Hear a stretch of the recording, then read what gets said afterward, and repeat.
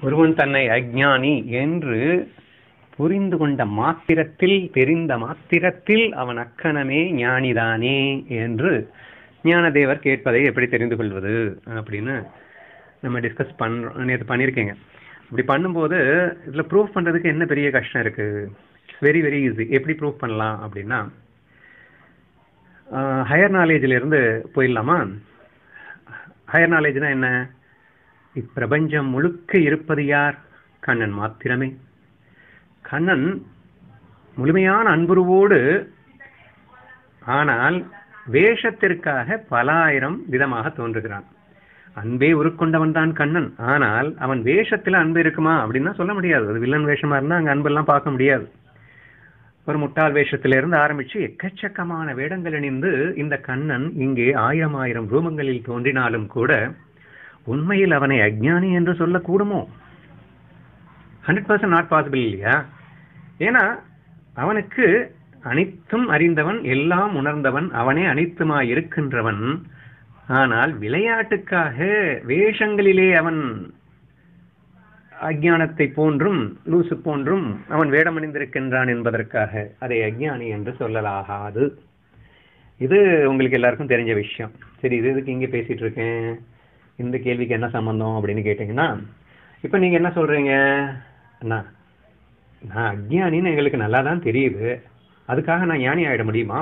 அப்படின்னு ஒரு கேள்வியை நீங்கள் எங்கிட்ட கேட்குறீங்கன்னு வச்சுப்போமே தெரிஞ்சிருச்சுல்ல? ஸோ ஹேவிங் அண்டர்ஸ்டுட் நான் ஞானி அல்ல. நான் அஜ்ஞானி அப்படின்னு முழுசா புரிஞ்சுக்கிட்டு ஆனா அதுக்கு அப்புறமும் கூட நான் அன்பு ரோல பண்ண மாட்டேன் நான் ஈகோ ரோல தான் பண்ணுவேன் அப்படின்னு நீங்க அழகா உங்க ரோல பண்ணிட்டு இருக்கீங்கம்மா. உங்களை போய் அறியாமன்னு எப்படிம்மா நான் சொல்லுவேன்? நீங்க என்ன அழகா நான் இன்னும் எங்கிடம் அகங்காரம் இருக்கின்றதன்னா அகங்காரம் இருக்கின்றது என்று தெரிந்து கொண்டு அகங்காரத்தில் வாழும் நீங்கள் எப்படி அஞ்ஞானிகள் ஆக முடியும்?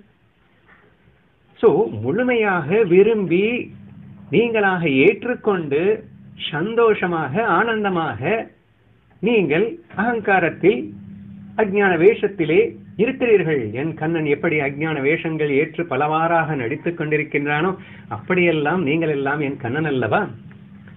சோ கண்ணனாய் இருந்து கொண்டு ஏன்னா எப்போ உங்களுக்கு தெரிஞ்சு போயிடுச்சோ? அதாவது நான் அஜ்ஞானி நான் அகங்காரி. என்று நீங்கள் உணர்ந்து விட்டீர்களோ அக்கணமே நீங்கள் அறியாமையில் இருக்கிறீர்கள் என்று நான் எப்படி சொல்ல முடியும்? அண்ணா நான் கஷ்டப்படுகிறேனே அண்ணா. கஷ்டப்படுகிறேன் என்று தெரிந்து கொண்டு கஷ்டப்படுவது கஷ்டப்படுவதாக ஏற்றுக்கொள்ளப்படுமோ? அதையும் நீ விரும்பித்தானே செய்கின்றாய். என்னன்னா குழப்புறீங்கன்னா நீங்க? அண்ணா நாங்க வந்து ஈகோல இருக்க கூடாதுன்னு நினைச்சிட்டு ஆனா ஈகோல இருக்கிறோம் அண்ணா. ஓ என்ன அழகான வேஷம் அது. ஈகோவில் இருக்கக்கூடாது என்று சொல்லிக்கொண்டே ஆனால் ஈகோவில் இருக்க வேண்டும் என்ற ஒரு அற்புதமான வேடத்தை ஏற்று நீங்கள் நடத்தி காட்டுகிறீர்கள். என்றுதானே அர்த்தம் அதற்கு? ஏனென்றால் அதுவும் தெரிந்துவிட்டதே உங்களுக்கு. ஈகோவில் இருக்கக்கூடாதுன்னு தெரியுதுன்னா ஆனா இருக்கோம்னா அப்படின்ற வேஷமா நீங்க போட்டிருக்கிறது. பின்ன எப்படி நீங்க வந்து அறியாமல் இருக்கீங்கன்னு சொல்ல முடியும்? ஹேவிங் நோன் எவ்ரி எல்லாம் தெரிந்த பிறகு நான் அஜ்ஞானி. என்று உங்களை நான் எப்படி சொல்வேன்? தெரியாமல் என்ன இருக்கின்றது உங்களுக்கு? இல்லையன்னா உண்மையிலேயே எங்களுக்கு தெரியல. என்ன சொல்லுவீங்கன்னா அடுத்து ஆ அண்ணா அந்த நேரத்துல அன்பு நினைச்சுக்கிட்டு ஆனா அகங்காரத்தில் பண்ணி விடுகின்றோம்னா அப்படின்னு ஒரு வார்த்தையை சொல்லுவேங்க. அதுவும் தெரிந்து விட்டதே அன்பென்று நினைத்துக் கொண்டு அகங்காரத்தில் செயல்படுகிறேன் என்று உணர்கின்றாயே. பின்ன உன்னை அஜ்ஞானி என்று நான் எப்படி சொல்ல முடியும்? இனி அடுத்த கொஸ்டின் அந்த நேரத்தில் எனக்கு தெரியவில்லை அந்த நேரத்தில் நான் அன்பில் இருக்கின்றேன் என்று நினைத்துக் கொண்டு ஆனால் அகங்காரமாக செயல்பட்டு விட்டேன்.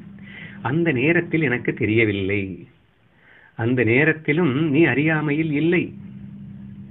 அதை அறிவென்று நினைத்துக்கொண்டு அதை செய்து இது கொஞ்சம் புரிஞ்சுக்கிறது கொஞ்சம் கஷ்டமா இருக்கும்.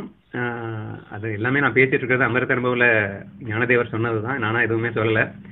இந்த ஒரு விஷயம் மட்டும் கொஞ்சம் புரிஞ்சுக்கிறது கஷ்டமா இருக்கும். ஏன்னா அவர் டோட்டலாவே வந்து கண்டிக்கிறார். அறிஞானம்ன்ற எதுவுமே இல்லை அப்படின்னு சொல்லிட்டு அஜ்ஞான கண்டனம் அப்படிங்கிற ஒரு சாப்டர்ல அழகா சொல்லிட்டு இருக்காருன்னு வச்சுக்கோங்களேன்.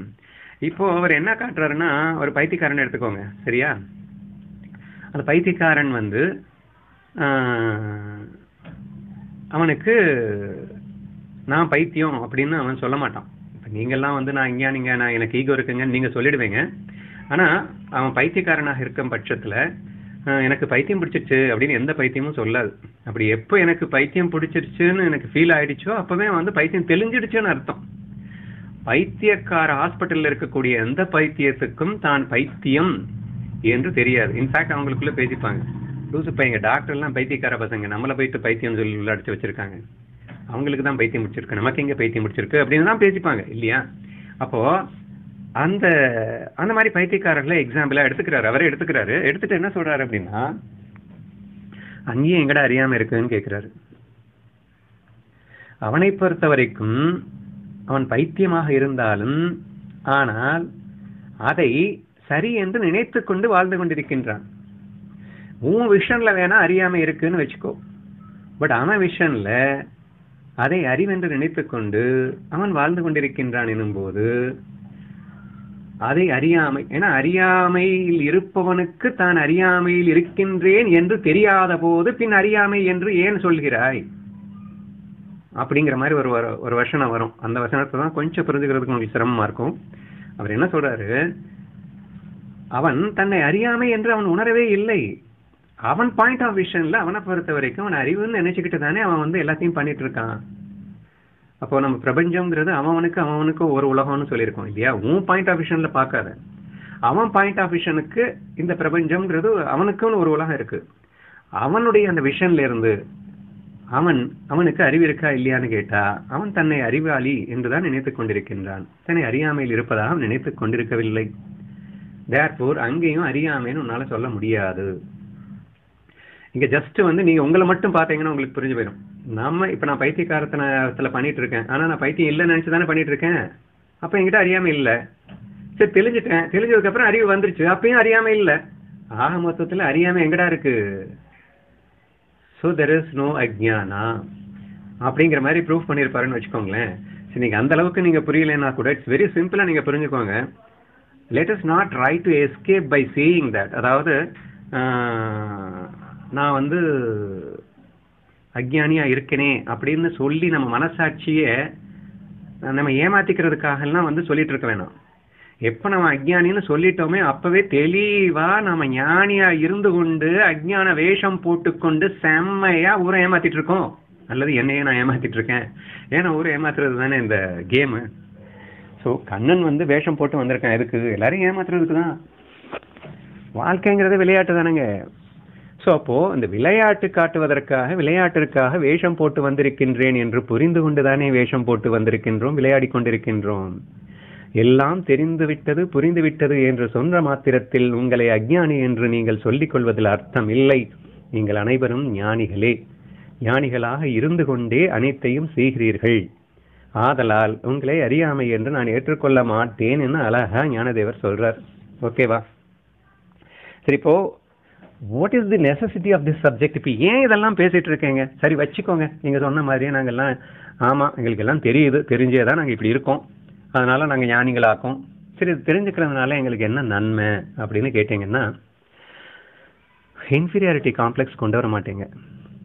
என்னமோ உங்களால் முடியலைன்றதுக்காக நீங்கள் முயற்சி பண்ணிட்டு இருக்கிற மாதிரியும் நீங்கள் முடியாமல் வந்து இதில் இருக்கிற மாதிரியும் வந்து தேவையில்லாமல் உங்களை நீங்கள் ஏமாத்திட்டு இருக்கீங்க இல்லையா? அது தேவையில்லை. அந்த காம்ப்ளெக்ஸ் வேணாம் அந்த ஈகோ வேணாம். ஏன்னா inferiority complex is also very big ego நம்ம ப்ரூவ் பண்ணியிருக்கோம் இல்லையா?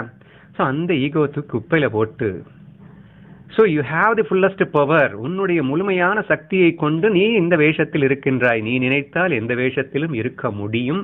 நீ இப்போது விரும்பி இந்த வேஷத்தில் இருக்கிறாய். நீ ஞானிதான். You are an ultra power the way you want you can live நீ எப்படி உன் வாழ்க்கையை அமைச்சுக்கணும்னு நினைக்கிறியோ அப்படித்தான் நீ வாழ்ந்துகிட்டு இருக்க. நீ பிடித்து விரும்பி எனக்கு இது தவறுன்னு தெரியுதோ சரின்னு தெரியுதோ ஆனா தெரிஞ்சுக்கிட்டே நீ செய்யறன்னு சொன்னா அதை நீ சந்தோஷமா நீ செய்- செய்யற அப்படின்னு ஃபீல் பண்ண. அப்ப செய்யற வில்லன் தொழில் வில்லவி வில்லி வேஷம் போட்டாலும் அதை சந்தோஷமா பண்ணிட்டு போ. அது வேஷம்னு புரிஞ்சுக்கிட்டு அதை வில்லி வேஷம்னு தெரிஞ்சுக்கிட்டு தெரிஞ்சே பண்றேன்னு புரிஞ்சுக்கிட்டு இன்னும் எக்ஸ்ட்ரீமா சொல்லணும்னா துருவாசர் வந்து ரொம்ப ஈஸியா வில்லன் வேஷம் போடுவார். ஏன்னா ஒரு பக்தனை பேர் உலகத்துக்கு நிலைநாட்டணும் அப்படின்றதுக்காக அம்பரீஷன் கதையில் வில்லன் வேஷம் போட்டார். உங்களுக்கு எல்லாருக்கும் தெரியும். ஆ ஒன்னா சபிச்சிருவார். கோபப்படுவது மாதிரி காட்டிக்குவார். அப்படின்னா எல்லாம் அஜ்ஞான வேஷம் போல் நடிக்கிறாருன்னு வச்சுக்கோங்களேன். என்ன? அவ்வளோ பெரிய ஞானிக்கு கோபம் வருமாங்க? அதுன்னா அது முழுமையான அன்பின் வெளிப்பாடாகத்தான் இருக்க முடியும். ஆனால் வெளியில் பார்க்கறதுக்கு எப்படி தெரியுது? அப்போ அந்த மாதிரி நீங்க எல்லாம் துர்வாசர் ஆயிட்டேங்க அப்படின்னு சொல்ல வரேன். புரியுதா? ஏன்னா அனைத்தையும் அறிந்து கொண்டு ஆனால் அஜ்ஞான வேஷம் போடுவது என்பது துர்வாசனுக்கு எப்படி முடிந்ததோ அப்படித்தானே நீங்கள் இருக்கிறீர்கள். நீங்கள் நீங்கள்னு சொன்னா என்னையும் சேர்த்துக்கிறேன். சரியா? நானும் இருக்கின்றேன். ஆதலால் என்னை அஜ்ஞானி என்று இனி தயவு செய்து சொல்லாதீர்கள். அல்லது சொன்ன மாத்திரத்தில் ஞானியாகிவிட்டு ஆனால் வேஷம் போட்டுக்கொண்டு நடிக்கின்றேன் என்ற உணர்வோடு வாழ முற்படுங்கள். நீங்கள் ஞானி ஆவீர்கள் என்பது அந்த கேள்விக்கான விளக்கம். நான் அறியாமையில் இருக்கின்றேன் என்ற புரிதலிலே இன்னொரு பெரிய நன்மை இருக்குது அதை நான் மிஸ் பண்ணிட்டேன். அது என்னென்னா ஃபஸ்ட்டு நான் வந்து இன்ஃபீரியாரிட்டி காம்ப்ளெக்ஸுக்கு போயிட்டு என்ன நான் ஏமாற்றிக்கிறது இருக்காது அப்படிங்கிறது ஃபஸ்ட் பாயிண்ட்டு இன்னொரு முக்கியமான பாயிண்ட் என்னன்னா எல்லாத்தையுமே நம்ம வந்து ஆட்டோமேட்டிக்காக கண்ணாக தான் பார்ப்போம். ஏன்னா யார் என்ன வேஷத்தில் வந்தாலும் அவர்கள் இப்போது அந்த ரோலில் வர்றாங்க. So hundred percent Kanna feel Krishna ஃபீலில் ரொம்ப ரொம்ப ஈஸியாக நிறையிறதுக்கு இந்த ஞானம் ரொம்பவே ஹெல்ப்ஃபுல்லாக இருக்கும். ஏன்னா தெரிஞ்சே பண்ணுறாங்க அவங்க அப்படின்லாம் நம்ம ஃபீல் பண்ணுவோம். தெரிஞ்சே பண்ணுறாங்கன்னா பின்ன கண்ணை வந்து அந்த ரோலில் இந்த வேஷத்துக்காக பண்ணிகிட்டு இருக்கான்னு ஈஸியாக புரிஞ்சுக்கலாமே. நமக்கு யார் மேலே ரொம்ப கோவம் வரும்னா அவங்க வேணும்னே பண்ணுறாங்க தெரிஞ்சே பண்ணுறாங்கன்னா ரொம்ப கோவம் வரும். இப்போ இந்த இடத்துல கோவம் வர்றதுக்கு வழியே இல்லை. ஓகே இந்த இடத்துல அவங்க எல்லாம் புரிஞ்சுக்கிட்டு எல்லாம் தெரிஞ்சுக்கிட்டு ஆனால் கேமுக்காக இந்த ரோலில் வர்றாங்க. ஆக அந்த மொமெண்ட்டு அந்த இதை புரிதல் வந்த மாத்திரத்திலேயே நம்ம வந்து எக்ஸ்ட்ரீமாக கிருஷ்ணா ஃபீல்ல நிறைய ஆரம்பிக்கிறோம். ஸோ தேர்ஃபோர் நம்மளையும் நம்ம ஏமாற்றிக்க மாட்டோம். கிருஷ்ணா ஃபீல்லையும் எல்லாத்தையும் கண்ணனாக பார்த்து நம்ம மிஸ் பண்ணாமல் இருக்கிறதுக்கு ரொம்பவே ஹெல்ப் பண்ணுது அப்படிங்கிறதுனால கண்டிப்பாக இந்த நாலேஜை நம்ம எடுத்துக்கலாம்.